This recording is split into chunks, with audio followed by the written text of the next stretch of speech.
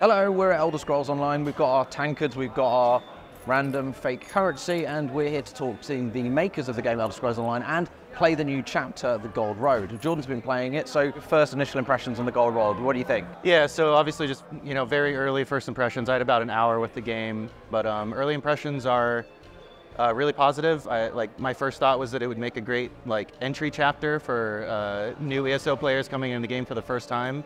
But they are trying some new stuff like um, spell crafting. It's not called spell crafting, but that's basically what it is. You can make your own spells, which is fantastic. And it's rather basic at the moment, but it is quite interesting, isn't it?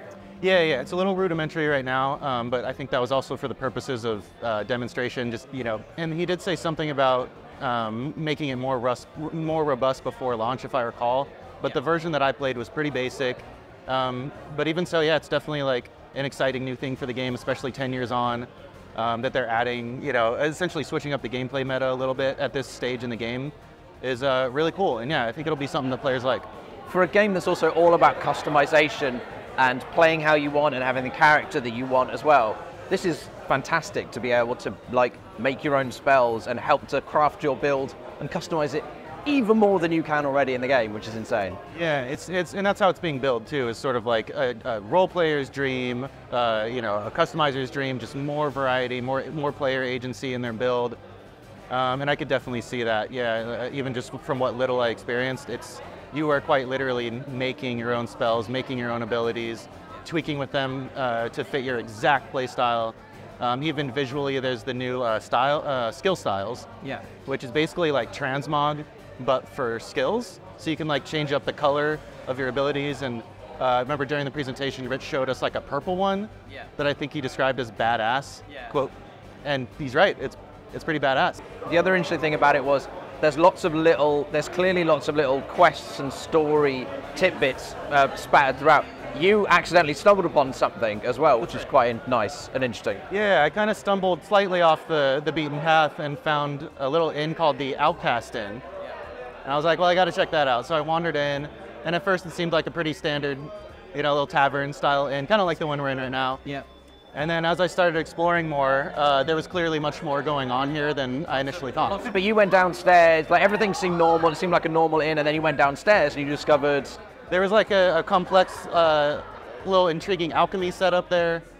There was a skeleton um, just laying on the ground. Yeah. Um, there was uh, signs of this magical anomaly that, we, that we've talked about.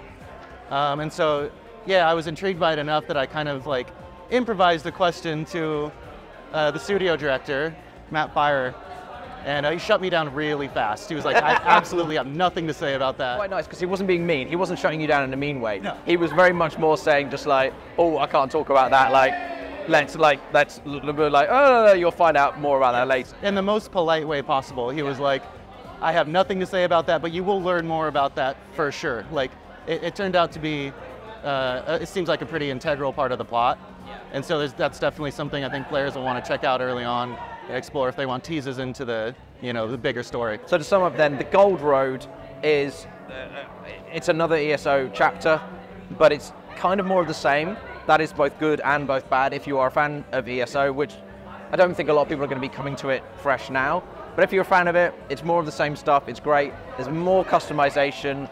They're letting you play more with your character and uh, magic now, and hopefully magic building and crafting and various other things. But the quests and the chapters seem quite similar.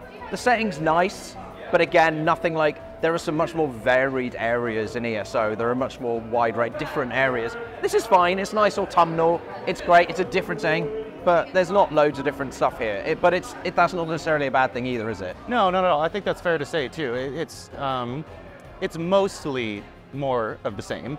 There there is some new stuff, and I think it's some cool stuff, and I do think uh, the scribing system is a meaningful step forward.